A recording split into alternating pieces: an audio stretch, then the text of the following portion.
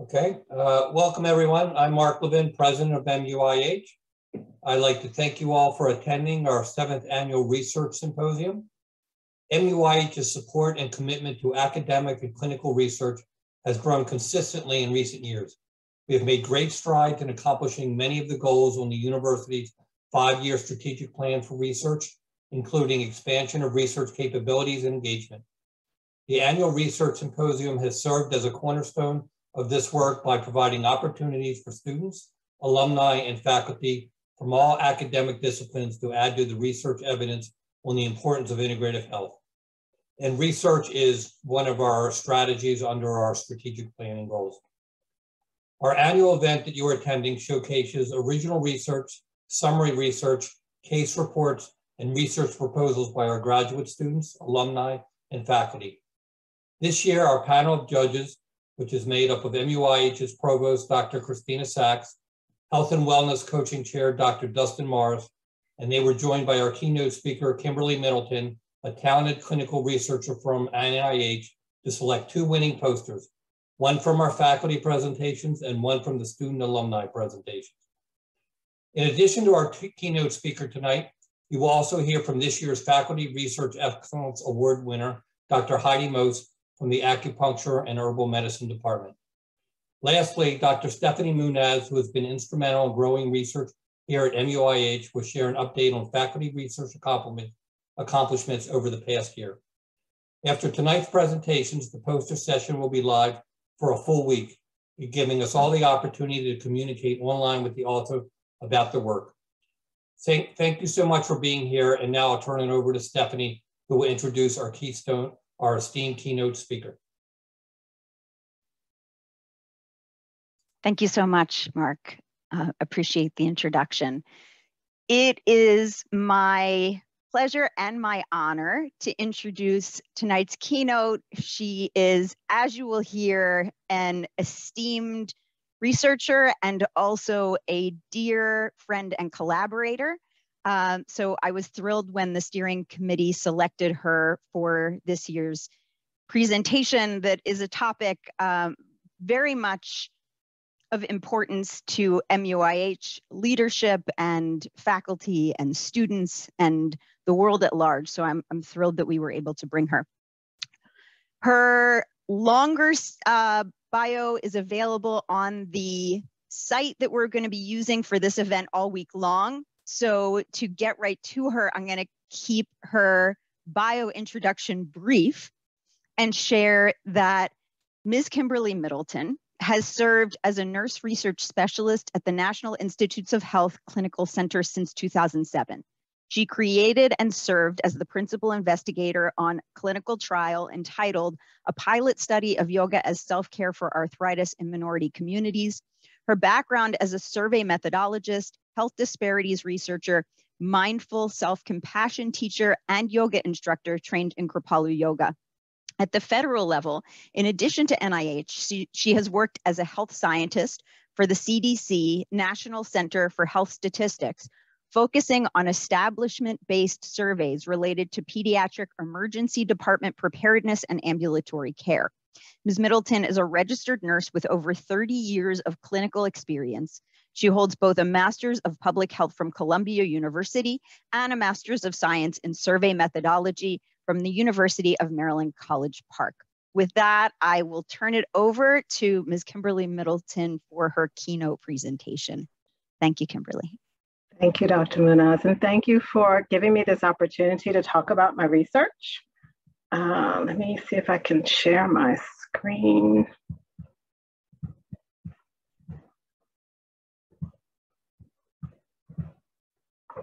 Are you able to see it?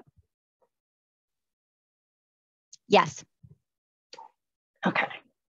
Let me get rid of some of the extra stuff going on here. So my talk today will be perspectives on health disparities research and integrative health. As Dr. Moonaz said, I'm Kimberly Middleton. I'm from the NIH. I am a research nurse specialist and survey methodologist within the Translational Biobehavioral and Health Disparities branch.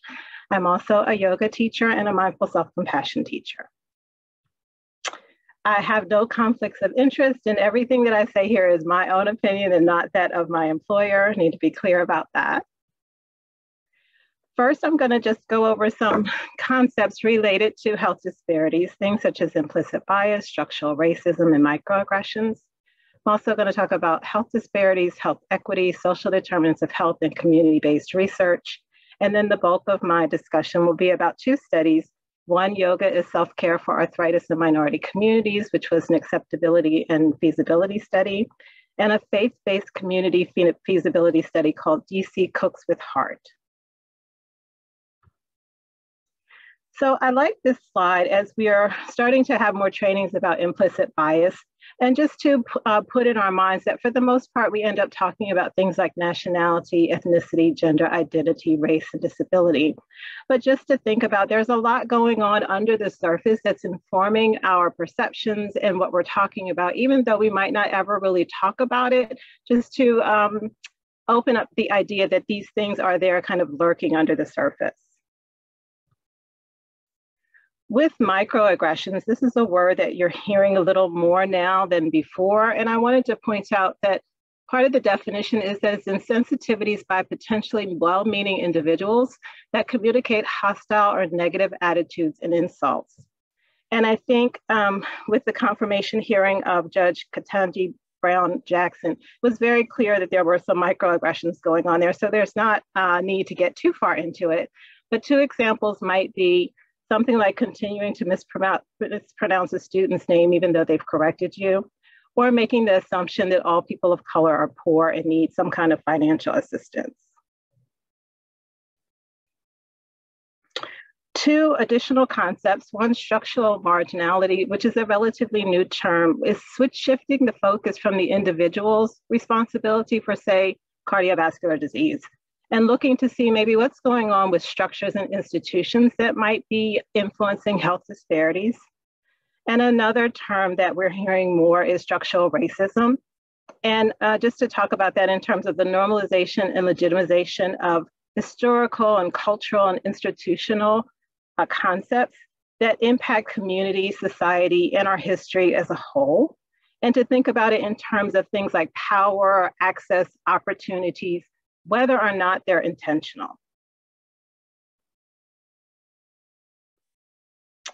I love this slide. I saw this years ago and I thought this just says it all in one picture. Uh, earlier in public health, we were talking about equality with the concept that if we just split everything up equally and give it to everybody, that that would solve the issue.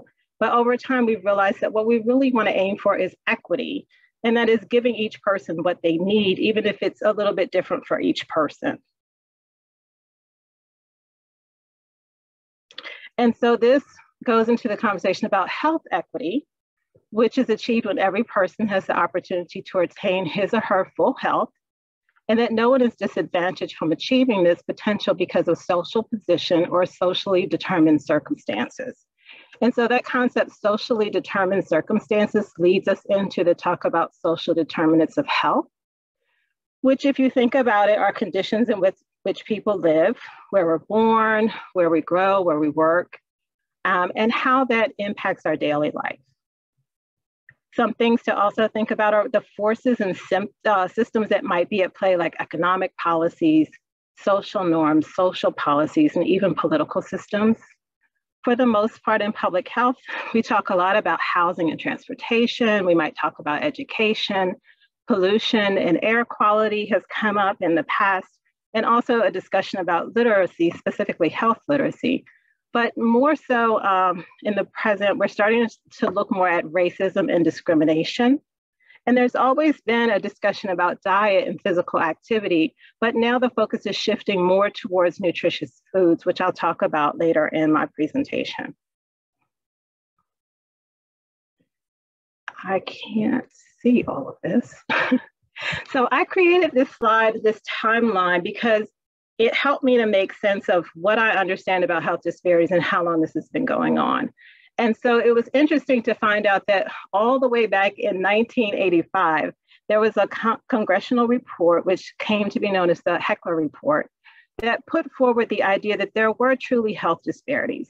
And uh, what the committee had gone out and measured what the disparities were and what populations were at risk and some guidelines about what should be done to eliminate disparities. And so again, I wanna highlight this started in 1985.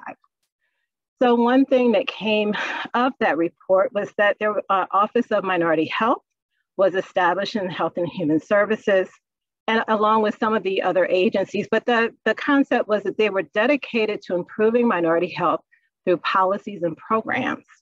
So this is 1986, 1990, we're moving forward.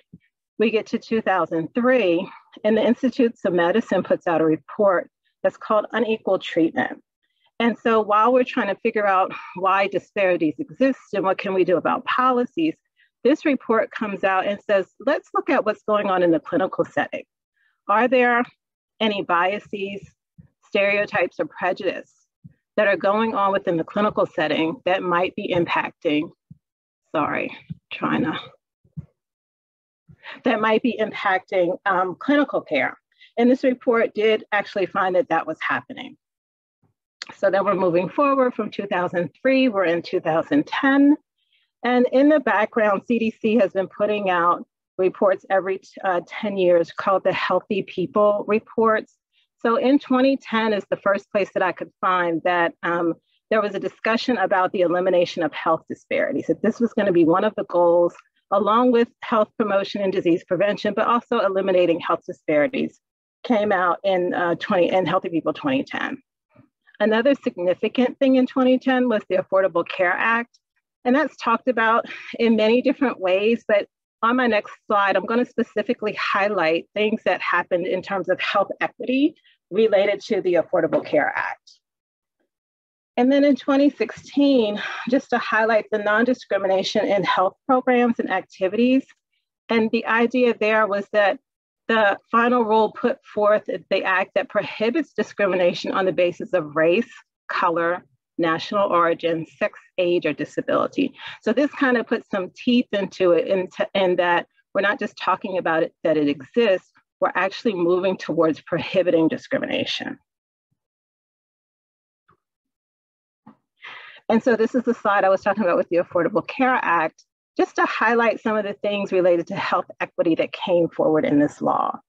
So one was increasing insurance covering and uh, coverage and expanding access, prohibiting discrimination in healthcare, which we just talked about, addressing diversity and cultural competency in the workforce, along with enhancing data collection and research, strengthening the federal minority health infrastructure, specifically related to the Office of Minority Health, not only the office within HHS, but also establishing offices within six of the other agencies within HHS. And for us at NIH, a major change was that we went from having a national center of minority health to a national institute, which uh, kind of moves them up in the um, in the in priority and gives them more resources. So I love NIMHD's website. I go there often and steal information to put into my slides. But for the most part, what I do enjoy is that they're focusing the conversation about health disparities. It's not just that we're keeping track of what's going on, is what are we doing about it? How can we make a change? How can we measure it? And so these are some of the concepts that I found out there. There's actually a definition for health disparities research. But what I think is more useful is there's actually measures for health disparities. When we talk about that there are disparities between populations, what exactly are we talking about? So things like higher incidence and prevalence of disease, premature excess mortality, greater burden of disease or reduced quality of life years, another way to measure it, and poor daily function. Also, there tends to be some difference in who we're talking about when we talk about populations that have health disparities. And so I like that NIMHD kind of outlines this is who we're talking about racial and ethnic minorities, sexual and gender minorities, less privileged socioeconomic status, and also geographically or culturally isolated residents.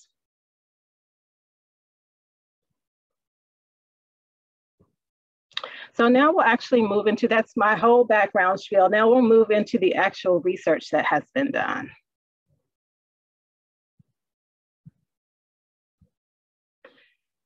This is the study that I believe I was asked to come talk about, Yoga as Self-Care for Arthritis in Minority Communities.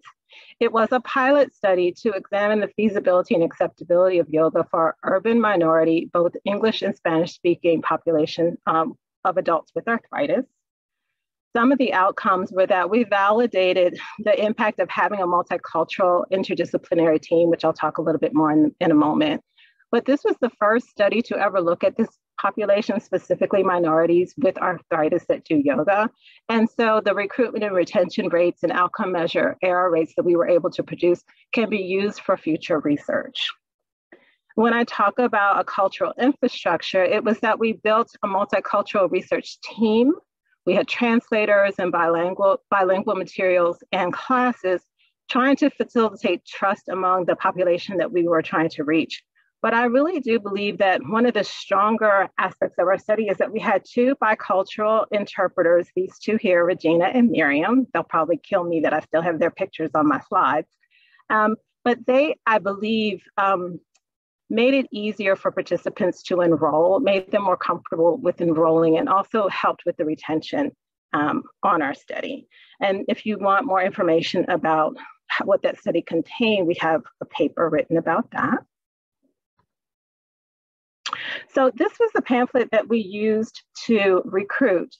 And I wanna uh, bring your attention to, it was translated into Spanish, making it clear that everything we did was translated. Our consent form, any um, recruitment materials, our yoga manual had been translated, as well as um, anything that went home with the participants, their diaries. Everything had been translated and we had English and Spanish. The main thing that I wanna bring your attention to for this slide is that our study was started in 2012. And I went to the internet looking for images of people of color doing yoga, and there were absolutely none not only were there no people of color, there were no full figured people doing yoga on the internet.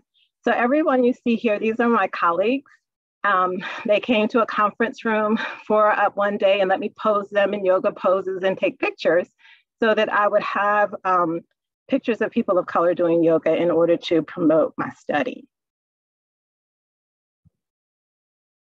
So when I say interdisciplinary, multicultural, I thought if I gave you the, the names of the people on the study, it would help you to better understand what I mean by that. So for interdisciplinary, there was the nursing department. And then we also had practitioners from the National Institute of Arthritis, Musculoskeletal, and Skin. That's a mouthful.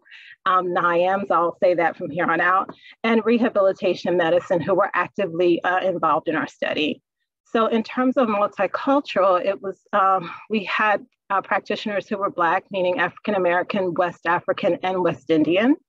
And then the contingent that were bilingual were from El Salvador, Mexico, Peru, and Puerto Rico. And for rehab medicine, this was the first time in the literature that yoga and rehab medicine had been put together for a clinical trial. And so we were able to write a paper about that experience of bringing these two disciplines together. This person should be familiar to most of you, Dr. Steffany Moonaz. When I met her, she was just completing her research at Johns Hopkins, looking at the efficacy of offering yoga to patients with arthritis, with um, RA and OA arthritis. And she did find positive results um, in her study. However, um, her study was not specifically designed to address minority participation. And while this study had a diverse participant pool, and was conducted in an area that's similar to Washington, D.C., where our study um, uh, uh, was put forth. Steffany's study was done in uh, Baltimore. And when her study was concluded, what she found was that the strongest predictor for attrition was minority race. And so when I contacted her and said that we were doing a study specifically trying to recruit and retain minorities, she was interested in what we would be doing to um, make that possible. So this is the process. NIAMS already had a clinic out in the community where they were offering rheumatology care. So we went to that clinic for, to recruit participants for the yoga study. After we did the uh, initial enrollment in the community, they came to the clinical center only to do the rehab assessment. The physiatrist wanted the patients to come to their clinic so that she could assess them there. But the rest of the study took place out at a yoga studio in Washington, DC. The classes were offered twice a week for eight weeks. Class sizes were small, five people or less, and there was always a Spanish interpreter present. So this is just an overview of what amount of information we were collecting. Um, in our study. It always seems like a lot when I see it on this slide. Um, during enrollment, which again was out in the community, we uh, did first the in, informed consent. And there are a bunch of measures that I thought would be useful to better understand this patient population along with the rehab assessment. Then participants came to the yoga studio for eight weeks, um, had eight weeks of the yoga class, along with doing a home journal, which was just how often were they practicing at home, for how long, and then they were able to write a narrative like a diary, just their time being on the study, anything they wanted to tell us about doing yoga. At week eight, in the yoga studio, we collected the same measures again. And then uh, we had an exit interview. And then three months later, we, we followed up to see who was still doing yoga and if they had any questions or any information for us after three months so this was the conceptual model. Initially, what I thought uh, would be the impact of offering yoga. So like I said, I, I, had all this idea of what variables I needed to collect up front. And I thought that taking this eight week yoga intervention would impact self-care in terms of a health behaviors measure and self-efficacy in terms of confidence in doing yoga. Our sample size was much too small to talk about significant relationships. However, we did find that some of the patient reported measures that we selected did point to self-efficacy. And so during our final write-up, we did suggest some of those measures for future research.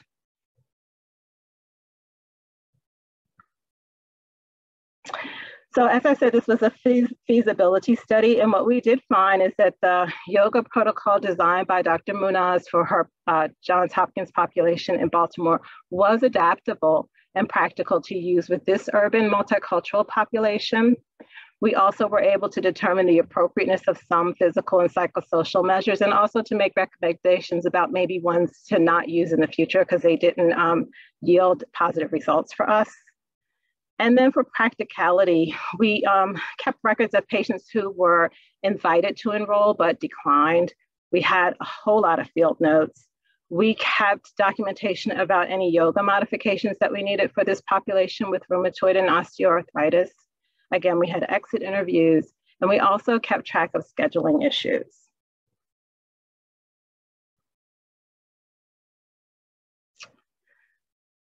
Um, and so not only was this a feasibility study, it was an acceptability study. And so seeing if the participants found yoga to be acceptable, what we found were the best facilitators for participating, for even wanting to enroll, was that they already had a trusted relationship with their rheumatologist or their rehab medicine practitioner, which is where we got most of our referrals um, in the qualitative feedback from participants, having the multicultural infrastructure did help them to feel comfortable with um, both enrolling and staying on our studies and, and taking classes in the community. And there were several comments about how much they appreciated having a yoga protocol that was created for people living with arthritis and to take classes with other people who also had arthritis. Some of the barriers were misconceptions about the cost, especially safety, upon first talking to anyone about yoga, the first thing we heard most time was about the pretzel poses. So it helped that we had the pamphlet showing all of the props that we would be using during class to make it less intimidating. The yoga studio was in Washington, DC, and so we had people coming from Virginia and Maryland at times that posed some transportation difficulties. There were scheduling conflicts related to work and childcare, and so we did offer evening and some weekend classes. And there was one instance of religious beliefs being a barrier, which I'll talk about on my next slide. But overall, for the study, we did feel that this was um, feasible to offer yoga to this population. Three months following up with participants who completed the entire study, they were still doing yoga three months later. All of them were still doing yoga three months later. And then we were testing using an iPad instead of using paper um, to collect uh, the survey instruments, and we did find that that was a feasible method of data collection. So this was the person who left our study for religious reasons. She specifically said the yoga studio made her uncomfortable. She thought the teacher's beliefs were being imposed on her. She did not like doing yoga in front of the statue, which is Patanjali, which you can see just above Charlene's head here, that she thought was diabolic. And she just thought in general, she wasn't sure what yoga was, and she just thought it was going to be a different experience. And so her leaving our study kind of made us pause and think did we do something wrong? Were we not being clear about what we were offering? Should we cover the statue? Um, just a lot of questioning we did about our process. And in the end, we decided that we had been clear about what we were offering. This was not a, an exercise class, it was not a stretching class, it was a yoga class. And so there were going to be some aspects of spirituality as part of it. No one else um, during the study had difficulty with any of the um, statues or the yoga studio, but we decided that if, if, someone asked, we would, you know, have a discussion about why there were statues in this yoga studio. This is a Kundalini yoga studio. But we continued on with the study without changing anything. But the um, person leaving kind of rocked us a little bit. And we wanted to publish our discussion to see if um, others were having similar issues and maybe how they resolved it, just to start the discussion.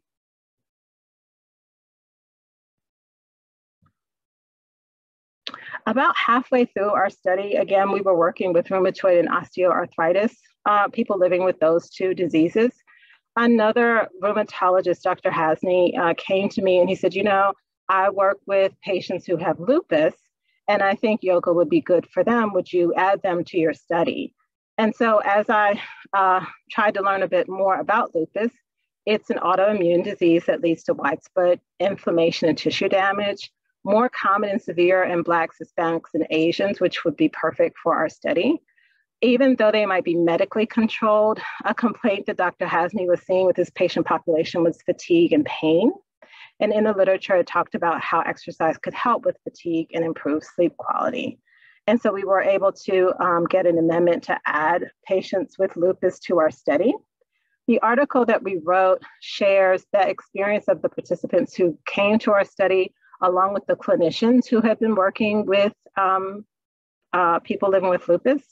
And fortunately, we were also able to contact some instructors who were yoga instructors and also had lupus to tell us some about how they modified um, their yoga practice themselves.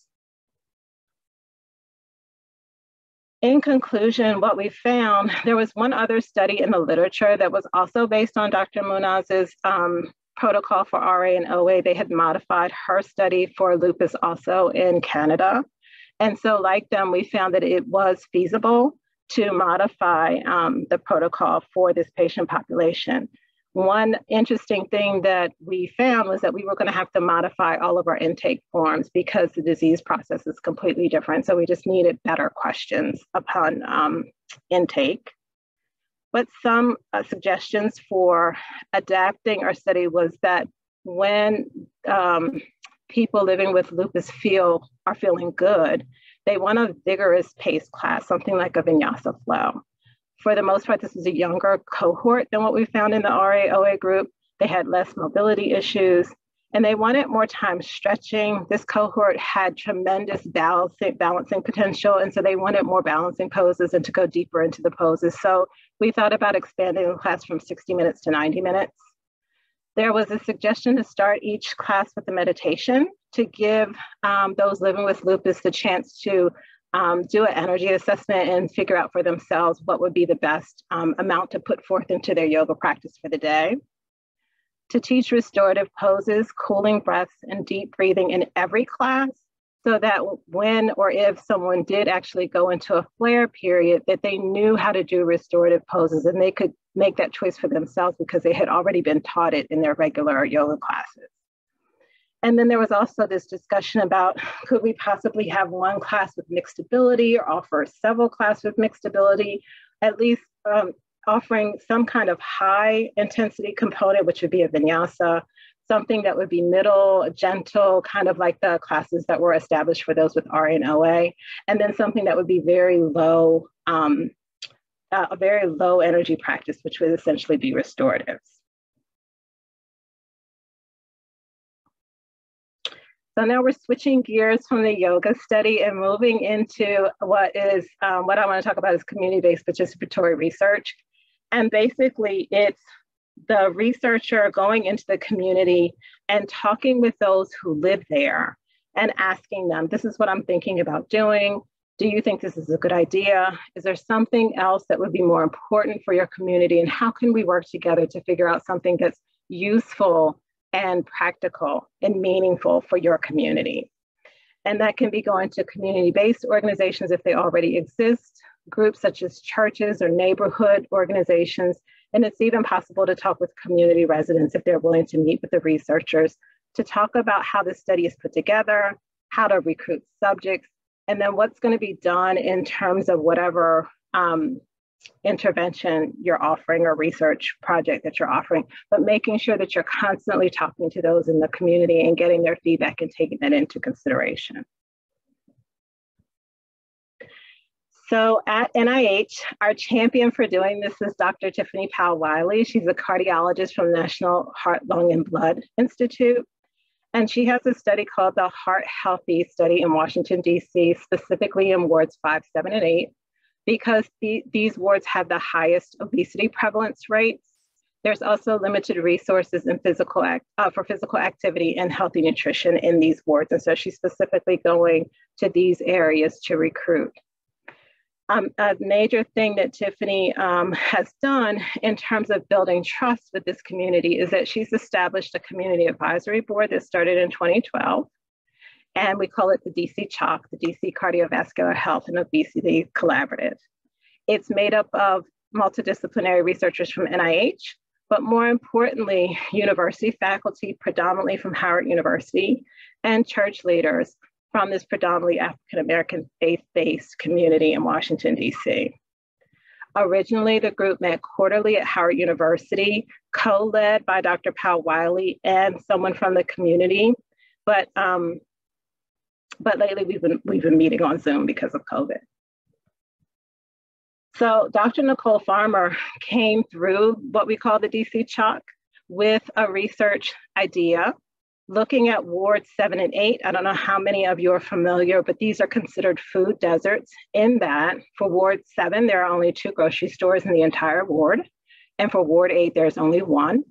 And so uh, Dr. Nicole Farmer wanted to know what is the quality of the food that people are receiving in these neighborhoods? And what are people doing to um, have healthier food if it's not available in the community? Where, how are people cooking at home? Are they eating out? What is it that they're doing in order to maintain a, a healthy diet? And how is this affecting their cardiovascular status?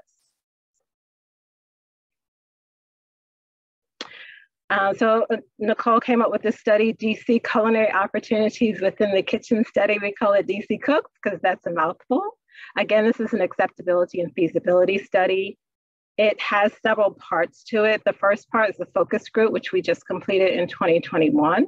The rest of this has been on hold because of COVID. We do want to go into the community to offer this study, but just to tell you how it's set up.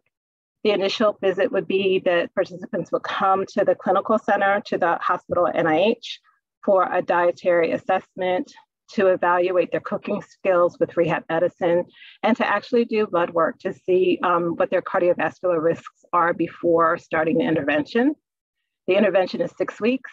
We are planning to do it in Ward 7 at a church in Ward 7. It's led by a chef who is from that area using a Mediterranean diet. While uh, participants are on the study, they would also be doing diaries at home and we would be collecting grocery receipts and then after they've completed the intervention, they would come back to NIH for the same assessment to see if there's been a change. So uh, like I said, the focus group was completed in 2021. We got to talk to 20 women um, virtually. We did virtual focus groups looking um, to better understand the social determinants of health for this specific um, neighborhood and if there were things such as food access and food insecurity, how that was impacting them from their point of view and what they had to tell us about diet quality, um, their how often they were cooking at home, just trying to get a better understanding of what they were eating and how they were preparing their food and where they were getting food from. Um, we uh, have questions, we have surveys for this study that we want to use, and this focus group was the opportunity to talk to them and say, you know, what do you think about the surveys? Are we asking the right questions? Would you suggest other questions that we um, that we add to our study? And what we found with these focus groups is just that we had an idea of what we were going to study. These women gave us so much information. We have 400 pages worth of information that we're looking through.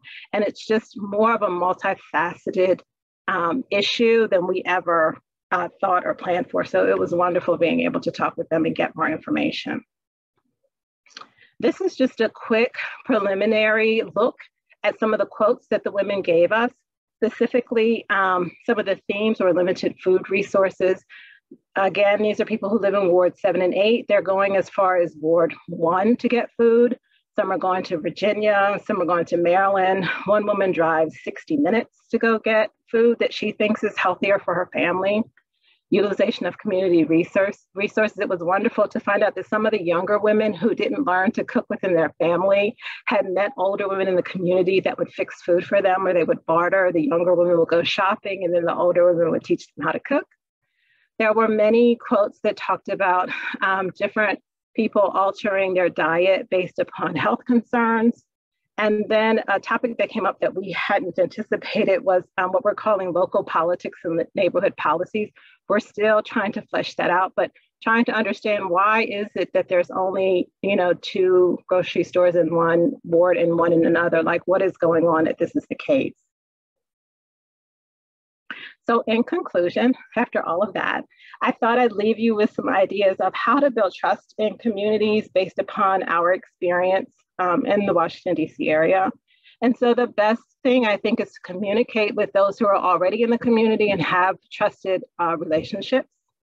Um, when you're creating your messaging, whatever your marketing tools are going to be, that you're using the images and the languages that relate to the culture of the people that you're trying to re- reach, like in the pamphlet when we had to um, have the day long photo shoot in order to get pictures of people of color. When we're talking about concordance, to match across multiple social characteristics, not just race. I hear a lot about racial concordance as if that's all you need, but my suggestion would be to try to match with multiple social characteristics.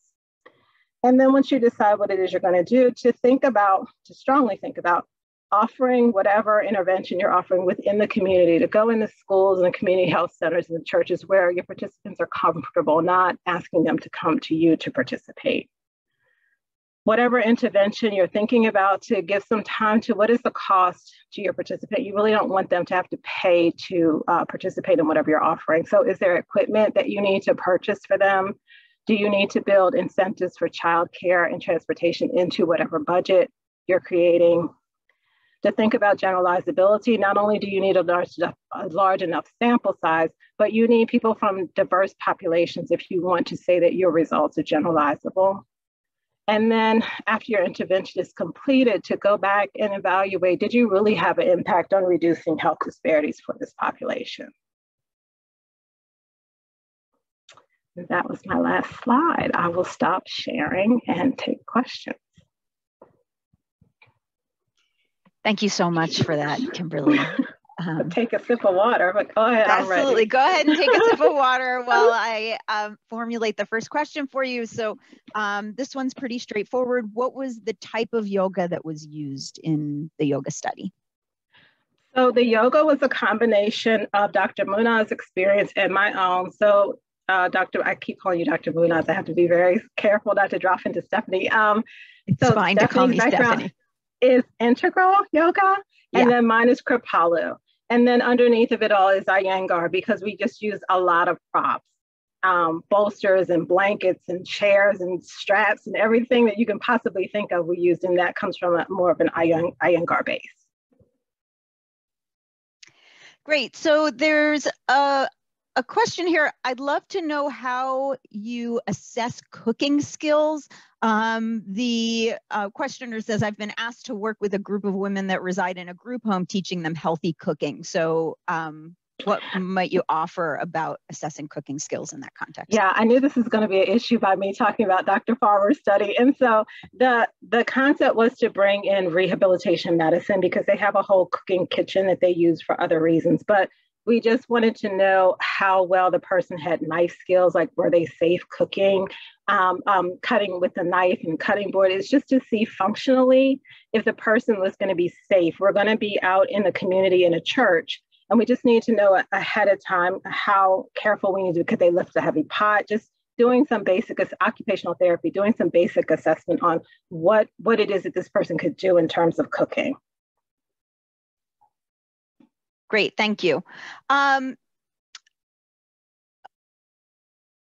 you to elaborate on something that you mentioned, Kimberly, when it comes to the the case study that was published about the spiritual elements, mm-hmm. um, because you know um, that the IRB that this was sent to specifically requested that spiritual components of the intervention be removed. And, um, you know, many of us here at MUIH consider spiritual health and spirituality to be an important part of integrative health, which kind of sets it apart from conventional medicine. So, do you have any suggestions for how to include spiritual elements in a way that is not threatening or divisive? Or do you think this was just a rogue incident that couldn't have been helped? Um, it's funny, I'm wanting to pull you in on this conversation because you were a part of this. So the IRB specifically said we had to remove things like we could not chant Om, we did not use Sanskrit. There were specific things that we could not do um, if the IRB was going to approve this study. But again, we didn't want this to be, it's not a stretching class, it's not a um, exercise class. We wanted to stay as true to yoga as we possibly could. And so other than those things, everything else about it was a, a, regular yoga class. And it was just this one person who left the study. Um, we went on to have the study for several more months, and this wasn't an issue again. And so I think what we came to as a group was just to talk about it. Don't hide it, don't pretend like it didn't happen. Someone was upset enough that they left. But for the most part, what we were offering was useful. And even if it was it did have a spiritual component for other people. They did they kept coming back and continued to do yoga three months after they had finished the study. And so maybe not just shy away from it but just be aware that it is something that might be a barrier for some but I, I, I, my overall suggestion was to just keep doing what you're doing. Great. Okay I'll, we'll take a couple more. Um, you mentioned in a sam you mentioned a small sample size in the first study and a lack of statistical significance in the second i think did you find clinical significance that could be relevant to integrative health practitioners I think, okay, it's been a long time since I wrote the paper on this study. What we found for the most part for the yoga study was a lot of the measures that we used. We were looking at depression, we were looking at um, self efficacy. We were looking at, uh, I just don't remember everything we had, but we were able to find that some of the measures did show an effect. There was a change from baseline to after the intervention. And so that's not proof that this is a change again because our sample size is so small, but the suggestion was those measures that showed some kind of change might be useful um, for anyone else doing future research the and steffany you'll have to help me with this. The self-efficacy one that we used was just a generic one. And right after we published there was a yoga self-efficacy um, measure that came out. And so we made the recommendation that maybe you want to use something that's more yoga specific. Um, okay so kimberly i want to ask you one more. I can't get to everything. Sorry um, everybody for that. Um, many practitioners many clinicians in integrative health are white. Um, integrative health is predominantly used by white people in this country and in Western countries in general.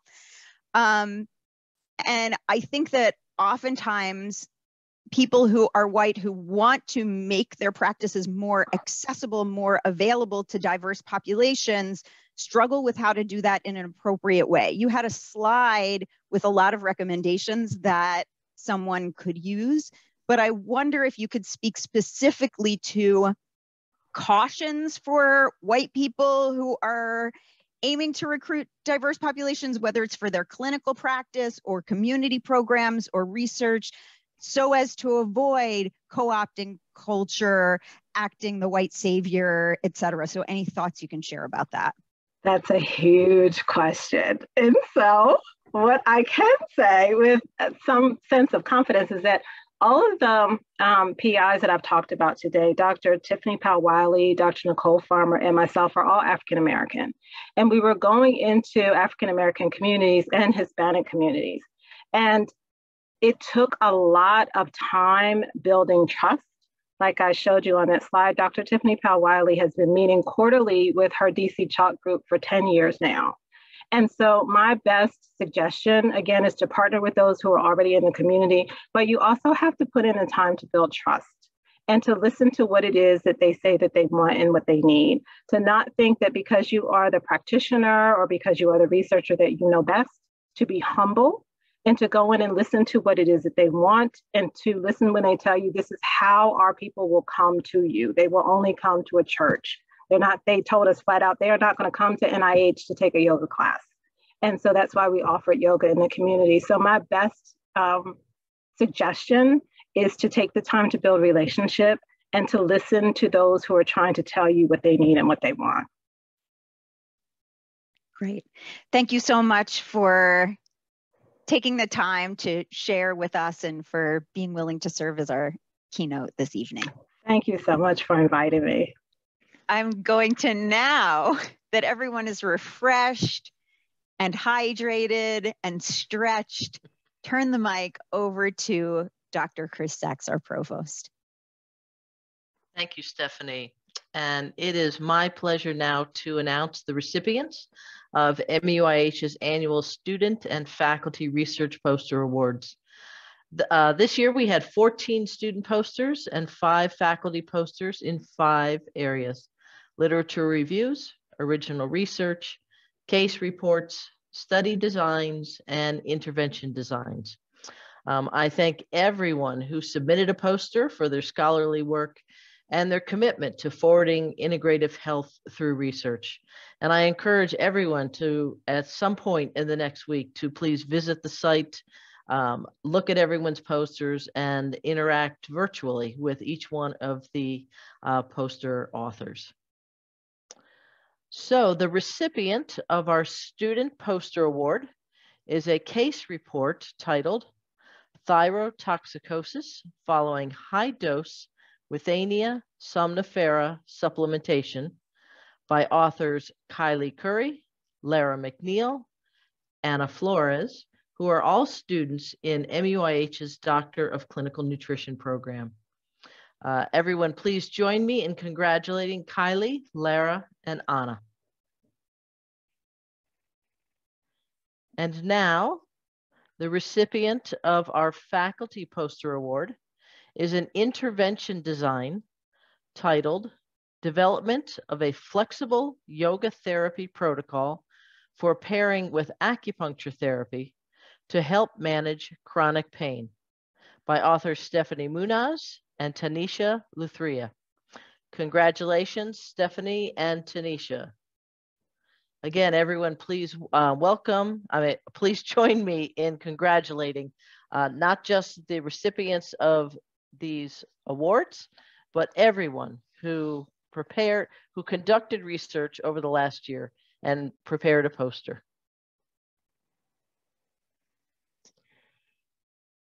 And now it is my honor to introduce the recipient of MUIH's annual Faculty Excellence in Research and Scholarship Award, Dr. Heidi Most, Professor of Acupuncture and Herbal Medicine.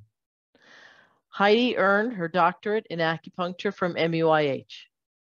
As a professor at MUIH, she has developed and taught courses for the acupuncture and herbal medicine, integrative sciences, nutrition, and health and wellness coaching programs. She has been an investigator on two research projects and the author of three papers published in peer-reviewed journals.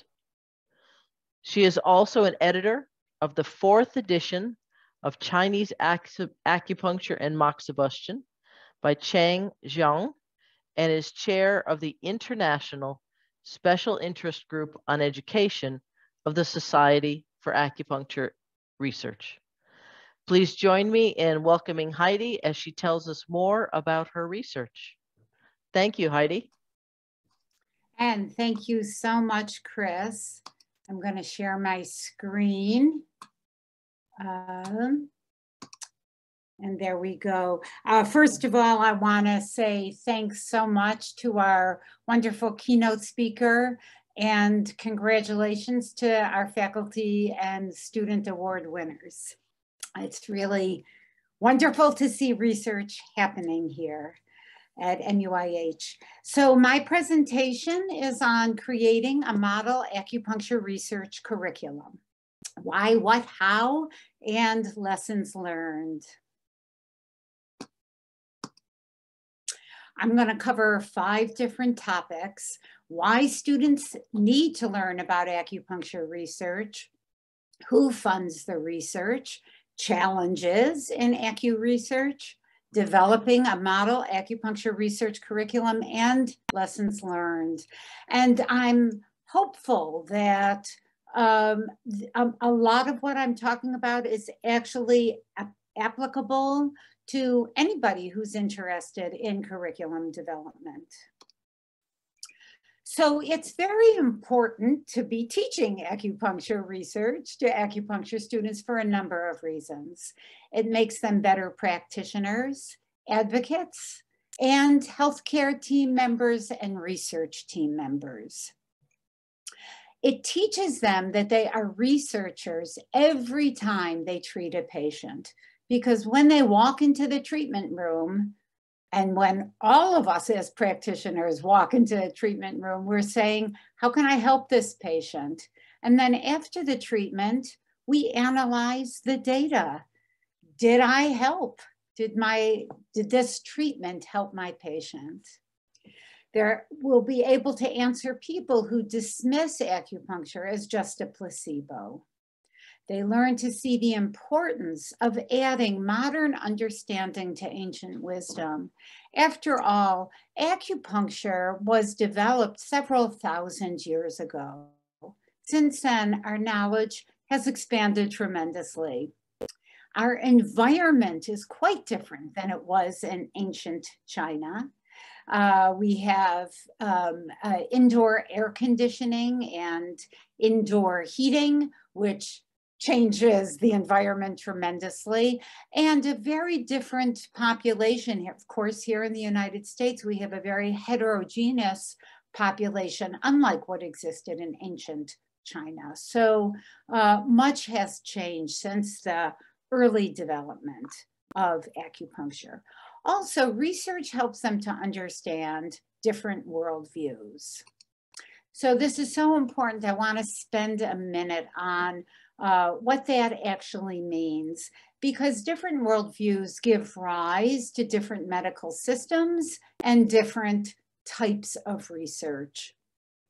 Of course, this is simplified uh, because to really go into a Western and Eastern worldview would take much more time. But very simply, from an Eastern worldview, the part can treat the whole. The human body, mind, and spirit is intertwined with itself and with the world and the cosmos. The medical system that arises from that treats the whole body, mind, and spirit and the person within the environment.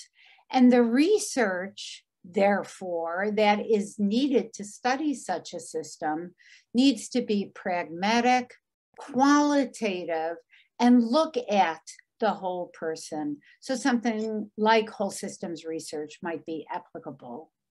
On the other hand, the Western uh, worldview puts great emphasis on studying and understanding the basic building blocks of life.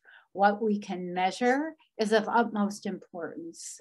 The medical system that arises from that treats the part, right? It treats the part that's not functioning. And the research that's appropriate for that looks at an individual part. So randomized controlled trials that compare one drug or one surgery to another or to a placebo to see how that affects one part. Of course, um, both of these systems are necessary. So not to put one over the other.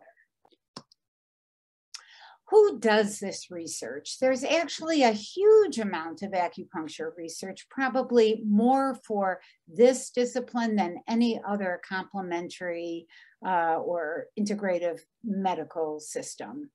Uh, China and other East Asian countries are a major source of this research.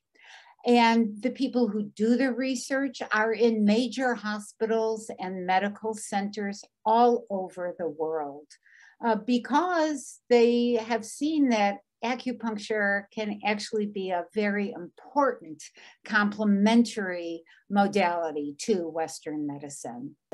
The funders are major insurance companies, uh, besides uh, in uh, in East Asian countries where the countries themselves support the research.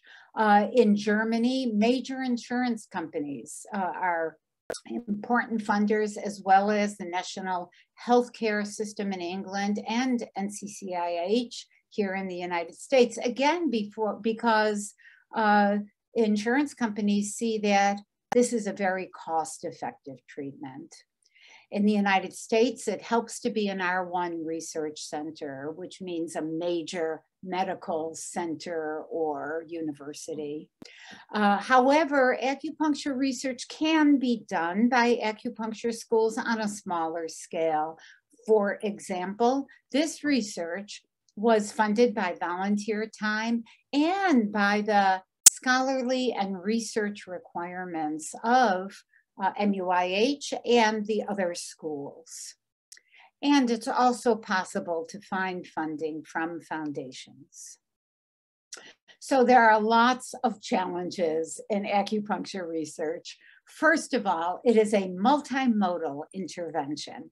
Yes, we use needles, but we also use moxa, which is an herb that warms the point.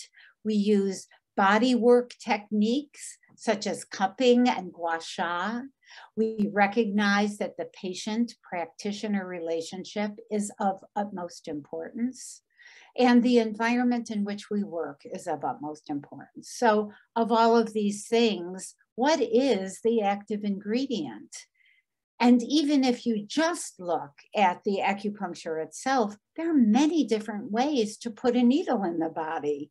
You can use uh, manual stimulation, or you can put an electrical current on that needle, uh, which makes it something a little bit different, electroacupuncture. You can just press the point. You can use something called trans electrical acupuncture stimulation, or you can even activate the point using lasers. So what is it that we are studying and, and which one is best? Do they all do the same thing? So that's a challenge. Then another very big challenge is that the treatments are individualized and they change over time based on changes in the patient. So whereas a randomized controlled trial can look at one intervention and see how it affects a patient, here, the intervention changes over time. Different acupuncture points are used. Um, and, and so a challenge to study. Every stimulation of a point has an effect. So controls are problematic. And then in Western medicine, randomized controlled trials are the gold standard, but they're not the best way to study a complex intervention like acupuncture with so many moving parts. So all um, uh, science begins with observation. I'm going to be talking now about my about the project that I was involved in. Uh, all science begins with observation, and this is what I observed. My students were falling asleep when I was teaching my research course.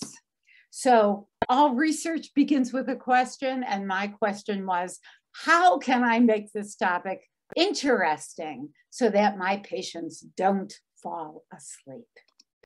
And that question took me on a five year journey.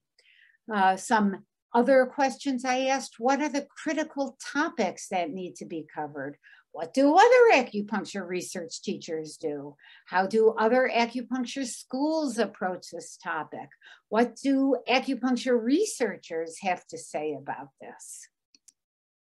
So I started with, I started answering these questions with the premier Acupuncture Research Association, which is a society for acupuncture research. Uh, they are an international group. They focus on research done by major hospitals, medical centers, and universities, primarily R1 research institutions, and traditionally did not include acupuncture and herbal medicine, medical schools generally. So uh, here is my research journey. It started with the 2017 SAR, Society of Acupuncture Research Conference. That conference was fabulous. Presentations from, you know, Memorial Sloan Kettering on uh, acupuncture for cancer patients and many other major medical hospitals and uh, major medical uh, schools, uh, but nothing for teachers of acupuncture. So I began at that point lobbying the SAR board. I called up the president, no, I emailed the president of SAR and I said, can you please provide something at the next conference for research educators, even if it's just a room that we can meet in and share information on what we're, each of us is doing. And I continued that lobbying for two years because they have their conferences every two years. So I proposed an educators workshop for 2019 conference and they came back to me and instead offered me a full day pre-conference workshop, which was fabulous. So I got a group of people together that I had met at previous SAR conferences, and we put together a full day pre-conference workshop on how to teach acupuncture research. At that time, the SAR Special Interest Group on Education was formed. This was at the June 2019 conference. Uh, and I became the chair of that group. And the first thing I did was create a Google Drive. So uh, this group, which uh, included people from all over the country and Brazil, so an international group of uh, research educators, uh, could collaborate. And then the second thing I did was put up a document that said, What are you interested in? And out of that document came two separate projects a survey to assess East, uh, acupuncture student interest in acupuncture research. And the second was developing a model acupuncture research curriculum. So these two tracks uh, continued simultaneously. First, for the survey, I created a separate Google file. We started with a survey of acupuncture students done in 2012 and worked on updating it. We got uh, uh, MUIH, the Scientific Review Committee approval, and then IRB uh, uh, approval. Uh, we searched for acupuncture program director names. I call this out specifically because you would think that a national organization might share it with us, but unfortunately, uh, no national acupuncture research organization did that. So I had to personally search the web for all uh, 50 plus uh, acupuncture schools and acupuncture program directors. And then we sent a letter to them all. At the same time, uh, we were developing this research curriculum. We started with a slideshow of one of our members. I added the existing MUIH research course topics.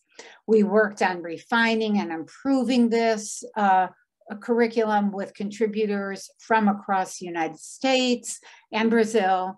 We identified subject matter experts and stakeholders And then the SAR board approved the project and agreed to be signatories to the letter requesting feedback from the subject matter experts and stakeholders. What do you think about this curriculum that we have developed? And that SAR board uh, support was critically important because we were asking major researchers from across the world.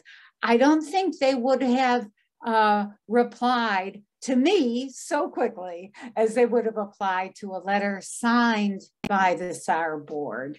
So that was really critically important. And then our work continued with the survey. We sent out a letter to program directors asking them to send out the survey to their students, and then reminder emails, and then reminder calls and we discovered we weren't getting enough participation. So we had to ask our IRB for a revision to extend our outreach to uh, social media. And then we sent out a, uh, and uh, extend our timeline. We sent out another letter to program directors. We had to go to a second IRB revision for their approval to offer incentives to students a remind, another reminder email and another reminder call. Um, and then for the model curriculum, we sent out letters to the uh, subject matter experts, stakeholders, reminder emails, reminder calls, collected all the feedback, and began the work of determining major themes from the feedback we received. And then one of the comments on uh, from a subject matter expert was, you need to include students in this uh, model curriculum outreach because they're important stakeholders. And I said, oh my goodness, we already have included students. Uh, they we took a survey. Uh, we did a survey for the students of the students, and so both of these projects have merged. Students are an important group of stakeholders in the development of a model research curriculum. And that now we have submitted yet another revision to our IRB to include subject matter experts and stakeholders in our project. And this is a five-year timeline that's just meant to show you how long research takes. So on the left-hand side are all of the different uh, tasks, uh, activities that I just went through. And across the top, uh, it starts in May of 2017 and goes by quarters all the way up to the present. And uh, this just really shows you how, how long research takes. Uh, you know, first my lobbying and then uh, the educators workshop, the formation of SAR, which makes me very happy in 2019. Um, and then a long time just working on developing the model curriculum and the survey. And then just jumping to the present, the work really begins now. We have just collected the data. We have not begin to, begun to analyze it. So the work uh, has uh, just begins. So the results to date, we have the data from the survey of acupuncture uh, students assessing their attitudes towards research. We finally got 467 students from 36 out of 52 schools. We developed a list of topics to be covered in an acupuncture research course. We have key lessons learned from our subject matter experts from across the world and key structure structures suggested from our stakeholders, including national organizations and students. So some of the feedback from subject matter experts and stakeholders, uh, specifically Standard research tools are one way of knowing and understanding the world, and there are other ways to know the world and take the complexity of the body, mind, spirit, and environment into account. Students benefit from knowing Eastern and Western worldviews and being able to speak two languages to know the drawbacks of the standard research tools when applied to acupuncture, to know the importance of scientific data and how to apply it in their practices. It's important to acknowledge the different mindsets of practitioners and researchers. And research has been shown uh, to be uh, that acupuncture is effective in treating, among other things, acute and chronic pain, nausea and vomiting, side effects of cancer, and cancer treatments. And this is directly from, again, the major researchers in hospitals who have seen it work with their patients. And then, of course, we have more questions from all of this. How do new research findings regarding best acupuncture practices get disseminated to practicing acupuncturists? How do practitioners keep themselves current on best ways to help their patients? These are questions, of course, that are common to every medical specialty, but it all starts with educating students. So here are some particular lessons learned from my research project. First of all, to say yes. Uh, I believe it was spring of 2016 that James Snow, uh, our um, uh, academic dean, asked me to teach our research course. And I thought this was a very bad idea. I was not trained as a researcher, and I said, there, there are better researchers here. And he said, it's important for the students to see that a practitioner, an acupuncture practitioner, is also interested in research. So some people can say no to James, but I am not one of them. Uh, I said yes, and that started me on this five year journey. Lesson two, research takes a long time and a lot of time. As you can see, this was a five-year process just to the point of starting the data analysis. Um, and it fills up all time that you have. For that reason, you really need to love your topic uh, because there will be many times uh, over the years that you will say, this is way too big for me. Um, uh, so you need that love to have you keep on going, to give you the energy to keep on going. Lesson three, Google Drive and Google Docs are amazing. It allowed for this international group of uh, research educators to collaborate uh, across uh, time and th all through the COVID epidemic. Uh, we were not stopped by it at all, I would say. So Google, I mean, truly amazing in its um, ability to support collaboration. Lesson four, MUIH support for research is really outstanding.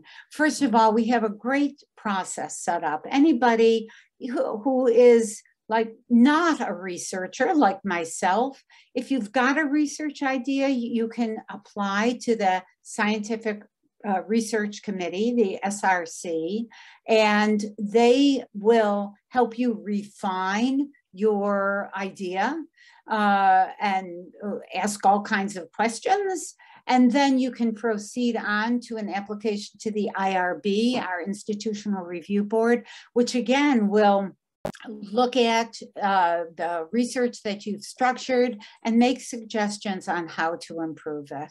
And then secondly, uh, ranked faculty have a scholarship, uh, research and scholarship track where a certain percentage of our time has to be spent on research and scholarship activities. So MUIH really financially supported this research by allowing some of my time to be spent on this activity. So uh, uh, deep bow of thanks to MUIH.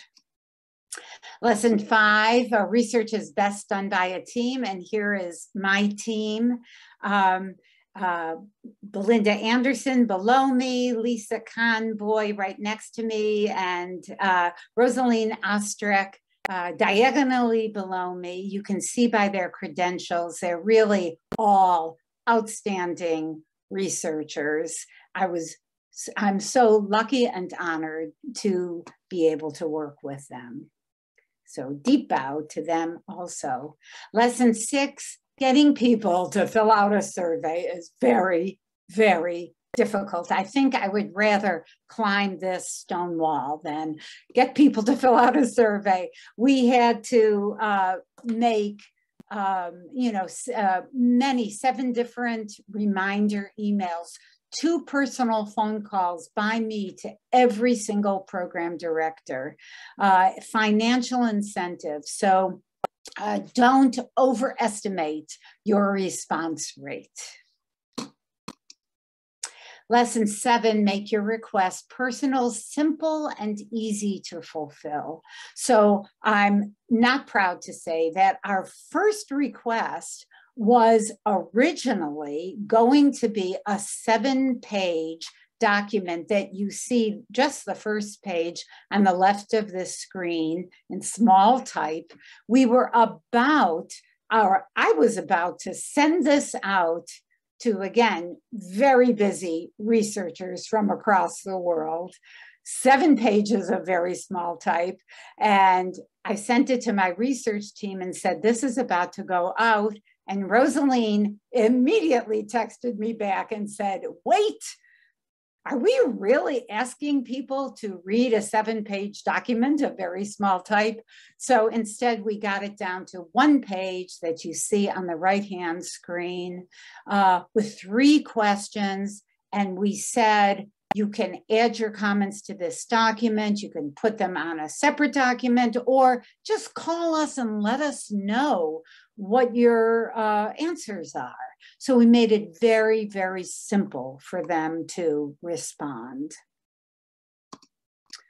Our next steps, uh, the survey is complete, the data is being analyzed, feedback is received from over 90% of our subject matter experts and stakeholders. The team needs to collect the data and figure out how to best present the information. We have to disseminate the information to schools, create a list of standalone presentations on key topics, for example, different ways of knowing. We have to discuss with our National Accreditation Board if their existing standards concerning research can be expanded and discuss what papers to write and which journals to aim for, and then write the papers. And then, most importantly, I'm happy to say that my students woke up. Uh, it's a difficult course, and maybe not all of them are totally thrilled with it, but at least they are involved and interested. Uh, finally, I want to uh, thank many people who were involved in this project. The MUIH administration, first of all, the entire research team at MUIH, including Dr. Steffany Moonaz, Daryl Nault, Mary Beth Masenda, and all the people who serve on the SRC and the IRB. I want to thank the Society for Acupuncture Research, my team members, uh, and all of the acupuncture directors who sent out the surveys, all of the acupuncture students who completed the surveys and my students uh, without whom this project would never have started. And I thank you for your listening. Thank you so much, Heidi, for sharing that um, and for really walking us through your process. And we look forward to seeing what comes of the next steps once the I mean, you know, the real work, there's a lot that goes into everything that you've done so far. So uh, when you say the journey begins, you're well into your journey, but um, here, here's where you get to see the fruit that it bears.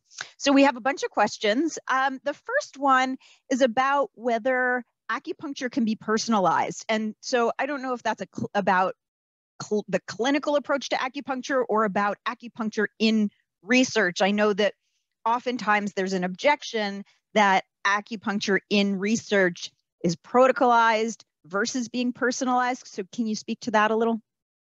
Yes. Um, so acupuncture itself, of course, is individualized. Absolutely. And that has been a tremendous challenge with research. So to date, acupuncture research, because it's done by major medical institutions, they do it in the same way with randomized controlled studies as they do for drugs, but it doesn't work for acupuncture. So uh, we are, uh, some people have already developed um, ways to do research that encompass the entire unique intervention. And it's kind of like a black box, um, taking people and looking at uh, where they started and where they ended up. Uh, and then, so not breaking down the acupuncture research into parts. There's something called complexity science that one of our team members, Lisa Conboy, is uh, trying to develop for use with acupuncture research. Certainly, uh, qualitative studies that ask how a person feels about the process and um, if their quality of life has improved. Those are all important tools to use when I'm finished facilitating this, I can add um, a citation to the chat. Um, the study that I actually, Tanisha and I received the uh, poster award for also has a flexible acupuncture protocol. Um, so it allows the acupuncture provider to make selections in the way that care is provided. Um, Heidi, did you find anything published on the topic of research curriculum in acupuncture? And if so, were those published in acupuncture journals or in education journals? Uh, so, no, we didn't. We looked at curriculum from other health care modalities, but there really wasn't anything for acupuncture uh, research curriculum. No, there wasn't. Uh, I'm sorry, there was. and uh, that was, um, uh, there were surveys that were done by another one of our team members, Belinda Bo Anderson, who um, had done surveys of both faculty and students. There were uh, there was an NIH grant round to several acupuncture schools, and I believe 2012, that looked at how to develop acupuncture research education. And so we looked at all of that information. I, I believe that Bo's work looking at that was a keynote at the research symposium a few years back. So for those of you who yes. are interested, you could go into the archives and, and listen to Dr. Anderson's talk. Um, do you think that this approach could be effectively applied to research other types of curricula in a particular field, like um, research and developing model intercultural competence curricula in health and wellness or medical fields? Oh, uh, you know, totally, absolutely. That's that's why I'm excited to present this here. It really is a process, and we've learned like I could tell you how to improve our process. uh, and it's absolutely applicable to other complementary medicine fields that want to. And actually, anybody who's trying to develop a curriculum on a particular area, uh, it's amazing to be able to reach out to subject matter experts and stakeholders and say, what do you think is the best way to do this? So, yeah. So along those lines, there's another question about your process and reflecting on it. If you were to do it again, what are some things that you would do differently? That's a great question. Um, uh, you know, uh, uh, one of the things is that we did not have a a research plan in mind, I would say. Here is the difference between uh, practitioners and researchers. Because I was kind of the driving force at the beginning, my whole thing was practical. I want to develop a research curriculum so I can teach my course better. But that's actually quite different from what would be the goal of a researcher. So to have the researchers involved in um, uh, creating the goal from the beginning, I think would have improved the whole process. And then there were just like little uh, things, you know, about uh, don't overestimate the number of people who re will respond to your survey. Right. Uh, you know, make things personal. Yeah. Great. Simple. Okay. One more question for you, Heidi, and thank you for taking these.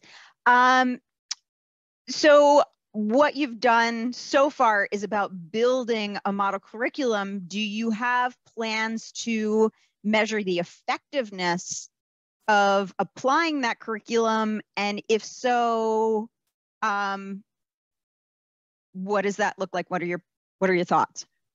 So, such an important question. And here is an opportunity for us to do something that we didn't do at the beginning, which is have a research plan now um, for, uh, I mean, we haven't really, we have not developed yet what we would like as a list of topics for acupuncture schools to do. So we have to develop that.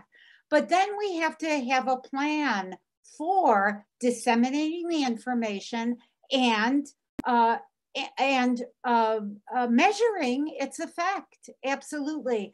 So we know that we have to do that, but we have not developed it yet. And thank you for the reminder. Wonderful. So that might extend your timeline a little bit more. Yes. thank, thank you so much for that excellent presentation, Heidi, for sharing your work with us, and congratulations again on the award. Um, and now I'm going to turn it over to our dean, Dr. James Snow, who'd like to say something additional before we move on. Thanks, Steffany. And so, um, so just before uh, Steffany presents the research update, I just wanted to take a moment to acknowledge her for all the work she's done for MUIH. Um, as many of you know, Steffany has moved on from her formal role as the director, as the department chair for research here at MUIH very recently. And in many ways, I think the research update is arguably the final like formal uh, presentation that you'll do in relationship to that role. Um, thankfully, Steffany is staying on as an adjunct, so we're all very excited about that. And we'll continue to collaborate with her in her new role. But uh, I was thinking about what I would say today, and and, I, and if someone was to ask me, like, what are what are some of the best things that you've done, as the most important things you've done as the dean of academic affairs, uh, I'd say that hiring Steffany would definitely be pretty high on that list, uh, because she has really um, she came in here. Um, trusting us that we were interested in conducting research, interested in developing a research curriculum. We really had an idea and Steffany in a very methodical way helped build and was a primary driver of a strategic plan for building research at MUIH. And um, really, I think you're seeing here today a lot of her legacy, which is um, Heidi wouldn't have been presenting today, wouldn't be as interested, wouldn't be as engaged if it hadn't been for Steffany. Um, you know, we have a, IRB, a well-functioning IRB, we've got a scientific review committee, we've got journal clubs for students and faculty, we've got research groups for students and faculty, we've got a whole bunch of faculty who are doing work and have learned from Steffany and been mentored by Steffany. I think about Marlysa Sullivan, who really knew very little about research when she started here, and really, I think under your guidance has really built a remarkable, um, you know, it's just one of the many people who's built a remarkable set of work under your guidance. And I know Daryl probably has something to say about that as well in a little while here. So Steffany, I just really wanted to take the time to formally thank you. It's been a pleasure working with you. Um, and uh, in England, I think one of the one of the ways that people show um, some uh, you know, some uh, love for people is by using last names to refer to people. So you are definitely one of the people I refer to as Moonaz on a regular basis. So, um, so you know, thank you on a personal level for everything you've done. Yeah, now you got to talk. That's my final yeah, gift to you. Thanks a lot, James. Thank you for that. Um, it means a lot. Thank you for believing in me and um, creating this role for me to step into for these past few years. Okay, so I'm going to share the research update, which is an annual tradition here at our research symposium, which is to give a shout out to research that has been published by our faculty over the past year. So this is not a calendar year or a fiscal year, it's a symposium year, which means that it's anything that's been published since our last research symposium, so since last March. I often, or I always, every year, get requests in the chat can we have this list? Where is the list? Can we get access to that research? And the answer, of course, is yes. We actually have a page on the MUIH website that has our faculty research by year. What I'm sharing with you tonight is not there yet because it's once I've given this presentation that then I share that list with the marketing team and it goes up on the website. So be patient with me, but you will be getting that list soon. Okay, so let me switch over to this document. So this is in no particular order, except that I sort of grouped it by um, by research researcher um, from for easier presenting. So I'm going to start by sharing about some of the work that's been conducted by Dr. Dustin Morris, who's the chair of our um, Health and Wellness Coaching Department. A recent paper on health literacy education in speech language pathology, published in the MedCrave Online Journal of Public Health. And then another paper um, on exercise causality, orientation, motivation, and adherence in an incentive walking program published in the Journal of Physical Activity Research. Uh, Dr. Liz Amann, who's in the Health and Wellness Coaching Department, along with Mary Beth Macinda and a few other colleagues outside of MUIH, published a focus group study, qualitative study on ADH coaching and interprofessional communication, which can be found in the International Journal of Evidence Based Coaching and Mentoring. Dr. Catherine Smith um, has a paper that's actually in press now. So this is um, our freshest of the list. It's not even available yet, but will be soon. And that is the effects of health and wellness coaching with an adult cancer caregiver, a case report. There were also two research presentations uh, by Dr. Catherine Smith that are published in Global Advances in Health and Medicine as abstracts. One of those with a bunch of MUIH co-authors, including uh, Claudia Wingo, Rebecca Pillay, uh, Chelsea Barrett, Amanda Breon, um, and Kimberly Davis. That includes faculty, staff, and students. And that is an individualized worksite wellness program at a small integrative health university, a one year follow up. So that is research conducted on a workplace wellness program here at MUIH. And then Dr. Catherine Smith also uh, gave a presentation on the feasibility and acceptability of health and wellness coaching for neuroendocrine tumor patients and their caregivers, also available in Global Advances. The next group of publications is by myself and Daryl Nault, along with an international team of researchers, and those are all related to the development of research reporting guidelines for yoga research. This is one of those projects that James Snow told me to do, and I couldn't say no, and it took me a lot of years. I wrote Daryl into it halfway through the project. And um, finally, all of that hard work paid off with three publications so far, all published in the last year, including the development of the Clarify guidelines, a Delphi study, the Clarify 2021 explanation and elaboration, and a commentary piece on releasing Clarify, a new guideline for improving yoga research transparency and usefulness. Um, additionally, another project that has me as an author includes a collaboration between MUIH and uh, Montefiore, Einstein, and Sinai hospitals in New York City one of the authors on here is Dr. Bo Anderson, who's working with Heidi on her project as well. And that includes the project that won the Faculty Poster Award, which is the combination of an acupuncture group intervention plus a yoga therapy intervention, both with flexible protocols to treat chronic pain in a community healthcare setting. So one of those papers is um, the about the barriers and facilitators to implementing that bundled intervention. Another is a qualitative analysis of the experiences of participants in that intervention.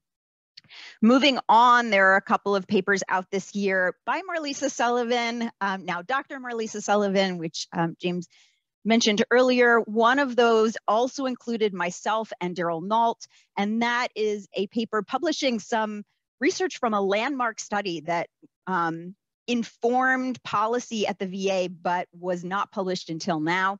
And so that is yoga meditation for active duty military members with post traumatic stress disorder, results in discussion of a landmark initial study. And then Dr. Sullivan also worked with a team of collaborators outside of MUIH on a pilot study of the acceptability, feasibility, and safety of yoga for chronic pain and sickle cell disease. Last but absolutely not least, Hunter Thompson with his very first peer reviewed research paper that just got discussed in Faculty Journal Club. We're so excited for Dr. Thompson and this accomplishment. And that is acupuncture treatment for a patient with stage four metastatic cancer, a case report published in Convergent Points, which is a new uh, journal for case reporting in this field. So that is my research update. And I believe now I'm going to turn it over to Daryl before I do some acknowledgements and then we close. Indeed. Can everybody hear me? Great, thanks. um, so we've talked a little bit about this Research Symposium website, and we thought that it would probably be a good idea to introduce you all to it so everybody knows how to interact and comment with the posters that are on it. Um, we do also have instructions on the homepage of this site itself. Uh, just, you know, you don't have to remember all of these instructions as I'm reading them, but just to show you all. Uh, so we will continue, pretty much be continuing this asynchronously through April 15th.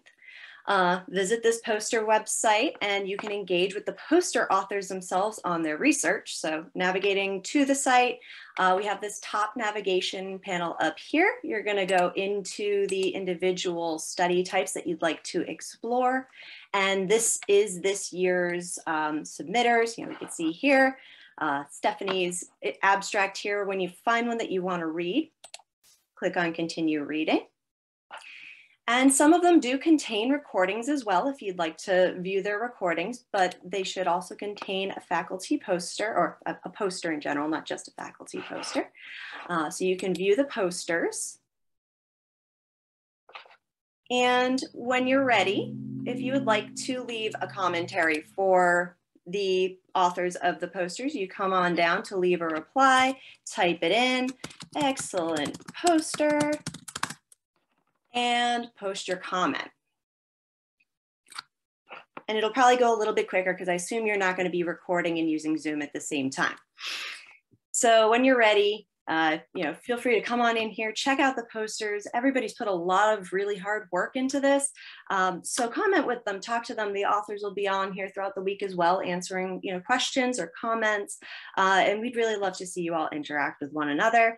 Authors, Please don't forget to check in so you can answer questions that are coming in uh, and respond to any comments. Uh, these are uh, wonderful points to connect with people who are interested in your research. And uh, just in case anyone forgets, we do also have these instructions, as I was saying, on the homepage. You scroll on down to instructions, and this will open up what I pretty much just read to you. It also has a couple of images as well to help you along.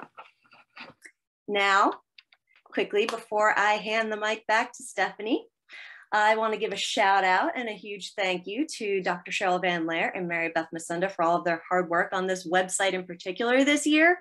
Putting this symposium together is really very much a team effort and this, this team is fabulous. Uh, it's not every day that you find yourself on a team where your monthly meetings are an equal balance of task lists and laughter, but none of us would be here if it weren't for the spectacular leadership of Dr. Moonaz. So since this is our last symposium leading us, I wanted to say a few words of gratitude. So over the past five symposiums, Dr. Moonaz has shown me what it means to be a leader and a mentor by encouraging others in their personal growth. She's now led us through our third year of pandemic forced will they or won't they be in person events and demonstrated how to persevere through those last minute changes with both grace and creativity. Steffany, your presence as our MC and at our monthly meetings will be greatly missed, uh, but you have infused this event with your love of science, your love of learning, and community. So I know you will always be a part of the symposium's heart. As usual, I'll speak for everyone on the steering committee when I say thank you for everything. And now I'm going to hand it back to you, Dr. Moonaz, to wrap us up. Y'all make it very difficult to speak. Thank you. Thank you, Daryl. Okay, I want to thank the steering committee for this event. This event, we start planning it, we give ourselves a month off you know, we have a debrief sort of right after, brainstorm things we want to think about for next year. We have one month off, and then we basically jump right into planning for the next year. So it's a whole year long process to get to what you're experiencing tonight and this week. So I want to thank Daryl Nault, Mary Beth Masunda, Cheryl Van Laer, Rebecca Pule, Christine Cherpak, and Rachel Voss, who recently agreed to help support this event going forward. So thank you to all of you for all your long-standing commitment. Some of you have been doing this for multiple years and keep coming back. I also want to thank the IRB leadership, Daryl Nault and Marlysa Sullivan. Many of the projects that I shared in the research update went through our IRB at MUIH. And for those of you who are interested in conducting research or you're not sure if your project needs an IRB or if it's human subjects research or what it requires, they are always available for questions. No question is silly um, or too simple or too complicated. So please contact them with any questions about conducting research as an affiliate of MUIH.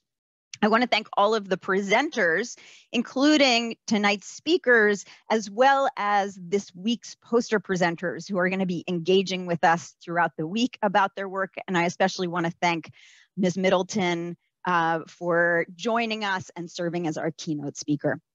Congratulations to the award winners, including Dr. Heidi Most, and our poster awardees are excellent DCN students. And Tanisha Luthria, who is an undergraduate student at Johns Hopkins, who had major contributions to make in our award winning poster. So well done. I also want to thank the faculty at MUIH who champion research literacy and engagement in their courses through mentorship outside of the classroom, going above and beyond what is required out of a passion and a commitment to research literacy and the conduct of research in integrative health. Those who participate in the research activities at MUIH and represent MUIH in the larger integrative health research world, including the faculty in our research department, which is now fearlessly led by Dr. Dustin Morris.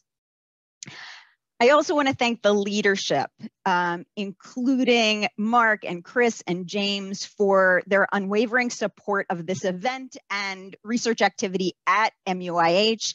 Uh, while James gave me a lot of the credit for what has grown at MUIH in recent years, none of that would have happened if it weren't for James having a vision for what research could be at MUIH and literally going out to find me and bring me back to fill that role. So, um, so thank you, James, for your vision and your support and for having that quality that um, makes it impossible to say no to you.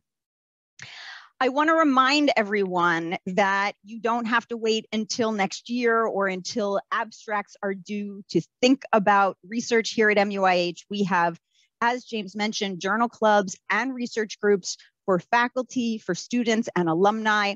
The journal clubs and research groups meet once a month.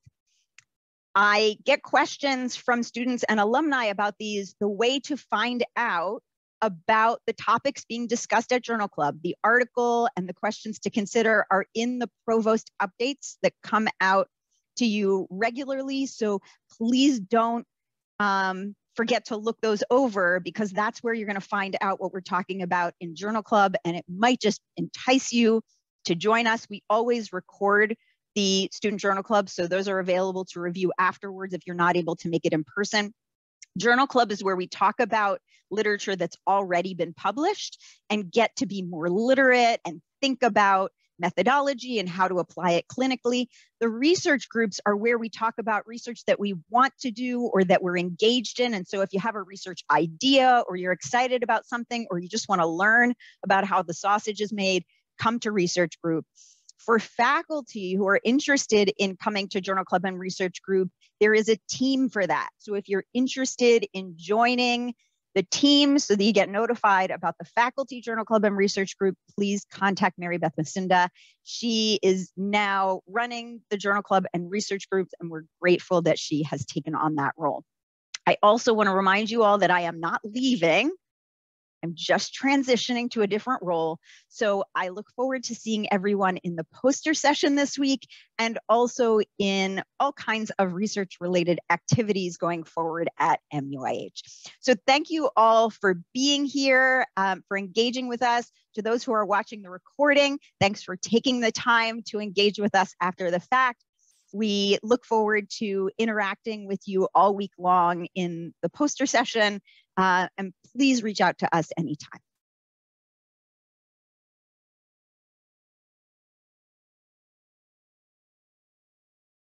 Um, I'll share that there is a survey now posted by Mary Beth in the chat.